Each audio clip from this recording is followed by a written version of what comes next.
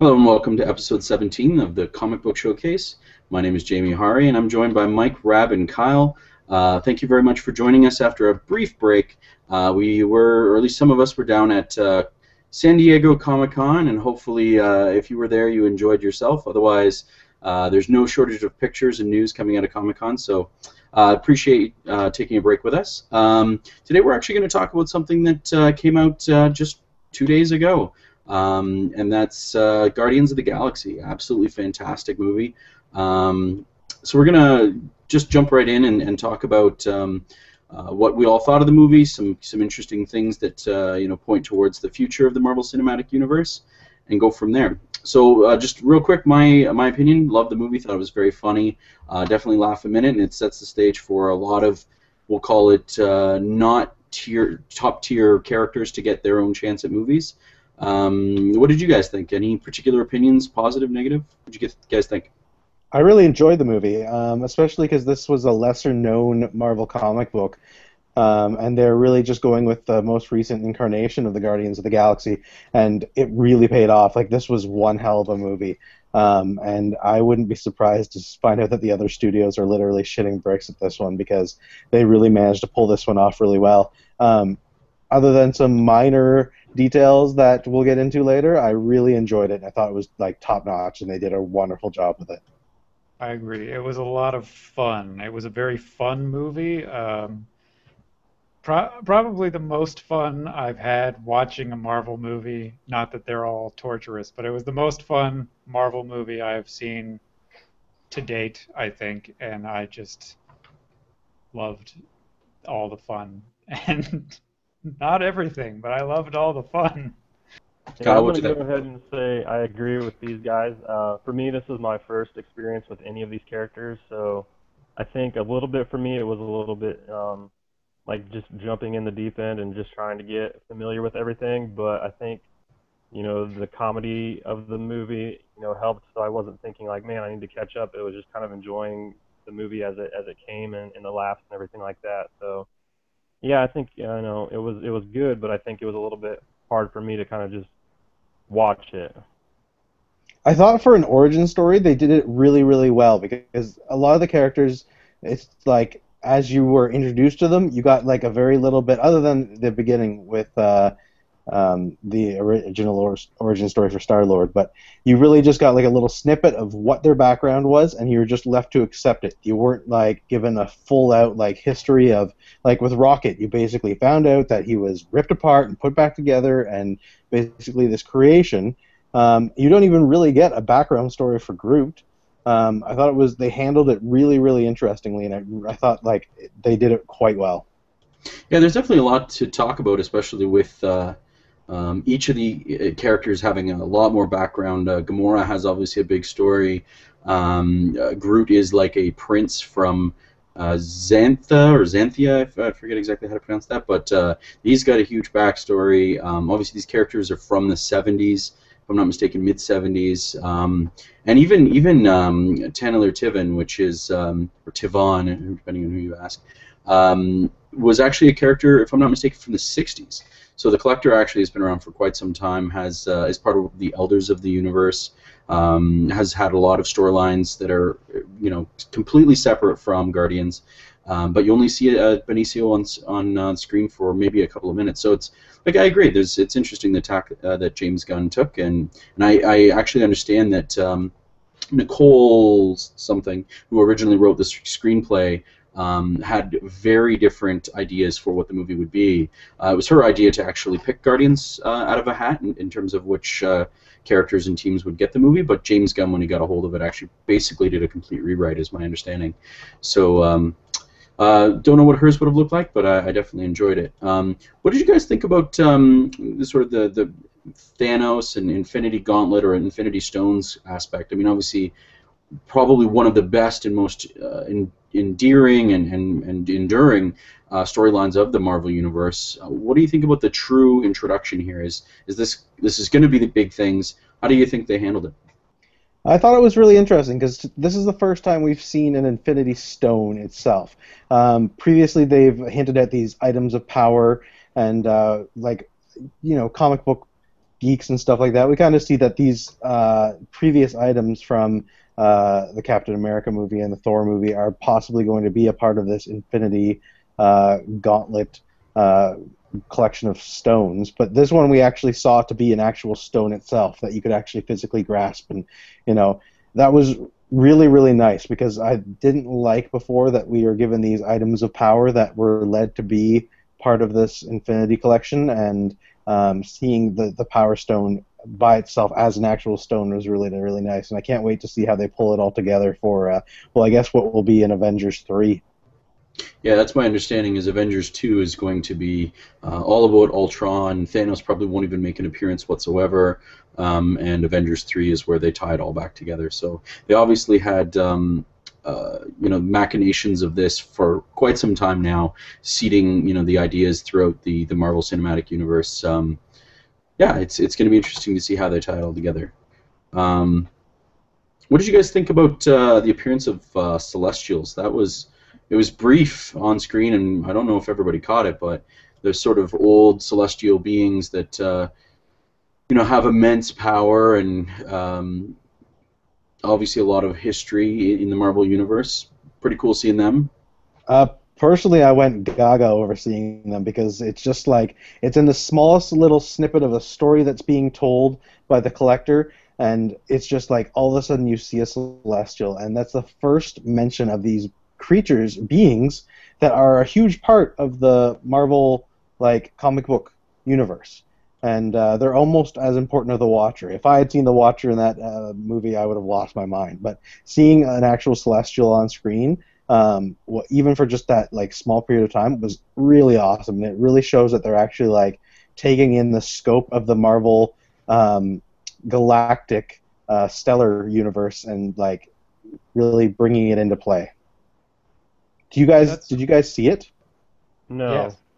No. I think you're talking about it's one of the scenes during the collector is telling the story about the stones, and then there's like this little flash of like the five dudes standing around. Is, are those the guys? Yes. are you- No, that wasn't. No, the Celestial was the one where you you saw The the, big guy thing? who had like giant balls on his body, and he was massive compared to the people that were below him, Okay, and he right completely before that. wipes out that whole situation and just like levels Same everybody.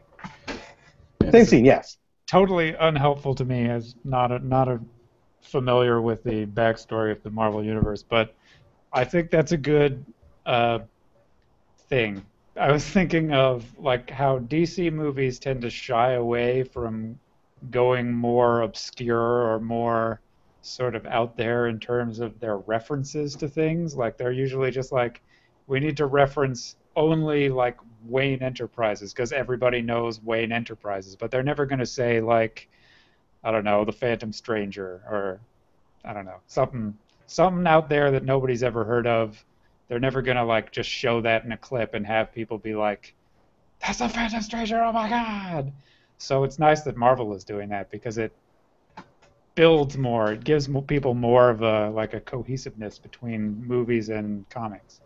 Yeah, absolutely. I mean, I like really only the like co- diehard fanboys would have recognized that, or a lot of people would have just seen it as you know it's a part of a story um, that the collector is telling. But you know, seeing it on screen and like the attention to detail that they put into it was just it was awesome. So, so who are the stars of this show? Obviously, Star Lord is intended to be the protagonist or the, the lead character, but uh, who really stole it? Who, who stole the show for you?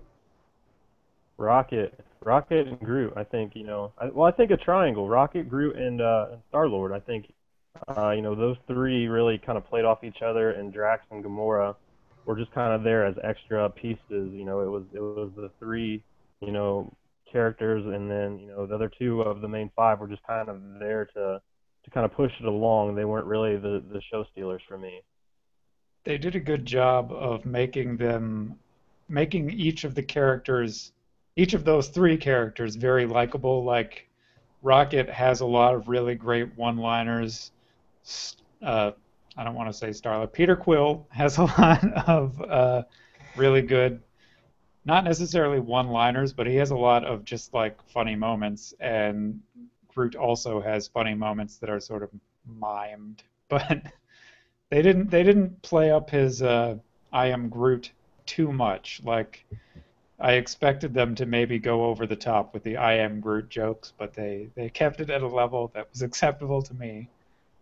And I I think the other characters besides Rocket and uh, Peter and Groot all they sort of just were dead. They were straight men in ways that were not pleasant, except for that one really funny joke that uh, that they gave to the guy whose name I'm forgetting. Drax. Drax. The joke about how metaphors don't go over his head because he catches them. that that pleased me greatly. So on that note, um, uh, I actually thought Drax was okay. He wasn't um, as much of uh, the movie as I, I, thought he might be, but he was still definitely a big part. But actually, I found the people that weren't a part of this movie were the bad guys. I found generally there was almost no sense of urgency or sense of importance or sense of um, you know impending doom with the bad guys. It was just like, yeah, he's over there. He's going to do something bad. We just got to, you know, take care of it. You know, we'll do our thing. It was largely escaping from the prison was more of a challenge, more of uh, you know, the crisis than Thanos. Thanos was like, he was over there. He was doing his thing. Eventually, we all know he's powerful. If he ever got a hold of one of the Infinity Stones, he would be, you know, a big menace. When we obviously know he probably will. But it didn't seem to me like there was a great impending doom from the bad guys. All the crises came from elsewhere. Yeah, I mean, like really, for the movie, Ronan the Accuser was meant to be the bad guy for this film, and without the Infinity Stone, he like they really didn't play him up as being as um, malicious or evil as they could be. I mean, perfectly enough, he is like daunting with his hammer being an accuser. But um, it's just like the I didn't like the choice of actors. I mean, I, Pace is a perfectly good actor. Don't get me wrong. He did the role the justice he could. But the problem is, is that Ronan the Accuser is a giant beast of a man. Like he is physically daunting, and not only with his attitude of being like very dominant. Like he very much plays up um, being an accuser. Um, but he just like it wasn't there for me. Like I felt that he, they needed to have someone bigger playing that role in order to make him more dominant and like evil and yeah. It's a it's a problem I find that these bad guys don't. There was there were no stakes for the for the heroes anyway. The stakes were they're going to destroy Zen with his, the place that starts with X or Zen. and um, that's bad. That's bad. They shouldn't do that. But still, why does anybody in the not yet named Guardians of the Galaxy care? If only because they're decent people. But I, it strikes me as kind of corny the way they played uh, Ronan because he's he's not like a he's not an imposing figure in the film really and they give him this voice to make him sort of like a, he's the bad guy and it's that same voice that like kids do when they're being the bad guy in a movie like when they're playing the movie that they saw. It's like i'm a bad guy and i have a slight british accent. And it's not a real bad guy voice. Like it's not like he's not a bad guy. He's just like slightly lower by three semitones, and it's it struck me as corny and it didn't resonate with me as like this is a legitimately bad guy. He's just a guy playing a bad guy in a movie, and that sort of took away from his menace. In my, I kind of got the same the same vibe that Rab did, but I think more so from from Thanos because like I know enough about Marvel that I know that he's kind of one of their the big bads of the Marvel universe, but I think you know knowing only that, I think for me it really didn't set him up as a future bad guy, like that we all you know every all the fans expect that he will be a you know some you know major player, and I think I didn't really get that feeling. I just kind of saw him as like you know, may, at most kind of the puppet master behind the, the scenes a little bit, but not really as a guy that we should fear and, and worry about, you know, taking, you know, things into his own hands for a future movie.